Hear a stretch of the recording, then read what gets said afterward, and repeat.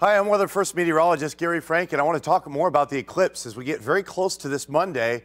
Will it be cloudy for the eclipse? We've been talking about clouds, and obviously clouds are a big factor in how the, the eclipse is viewed. Of course, it's very cloudy. You're just going to see dark skies. Some people saw that in 2017, but the cloud cover makes a huge difference on what we're going to see, and that's going to be the big story for us. Now, we look at Belleville for an example because, you know, for the last 10 years, uh, you know, you actually have people that observe what's going on, not only just machines, but obviously observers that tell you if it's sunny or cloudy. Now, last year it was fully sunny, and there are a handful of days like 2020, 19 where you could see full sunshine, but obviously 2022, 2018, a little bit more problematic.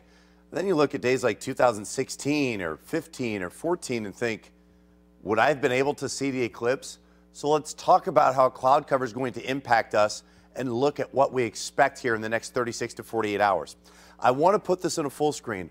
Four different models showing cloud cover, and some of them more clouds than others. Let's talk about the differences here as we look ahead. First off, you look at the first one, and you see plenty of cloud cover. The second model starts to bring in cloud cover from the south, whereas not much going on for the other two, or clouds start to increase. So what do we think is going to happen and what does this mean, right? So we look at this and this is really looking, some of these models don't look at cloud cover very well, or they really don't depict what level of the atmosphere the clouds are at. Uh, and so that's what we want to focus on here uh, and talk about this as you prepare for your plans for the eclipse. Because I think what we're going to see is there are thicker clouds with more storms to the south. But we'll start to see some high clouds ahead of that as we start to see that southerly breeze. And surely those storms are going to impact us by the middle of the week. But I think that this is going to line up nicely. And as I pause this at about 2 or 3 o'clock, you'll notice that there are breaks in the clouds just about everywhere. Of course, here in totality, that's going to be the area that we look at more specifically.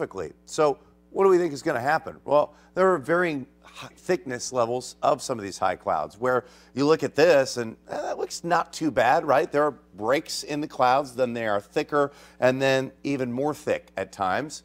And you look at this is pretty clear, right? We've had high clouds like this where uh, those ice crystals 15, 20, 30,000 feet in the air, and you see them often as they line up with some of those contrails from the airplanes. But then you also look at much thicker conditions where if they're this thick with enough moisture that far above the surface, you're going to have a hard time seeing that total eclipse. So regardless of what happens, I do think that we're going to see those high clouds settle in.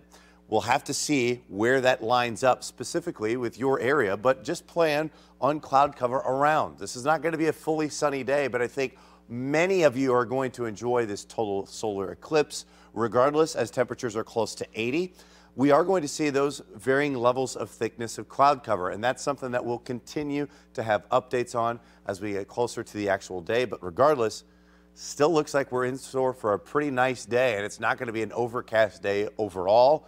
While there may be some levels of thickness to those high clouds, it still looks like it's going to be an enjoyable event, and we'll keep a close eye on even little minor tweaks to the forecast as we get closer to Monday at 2 o'clock.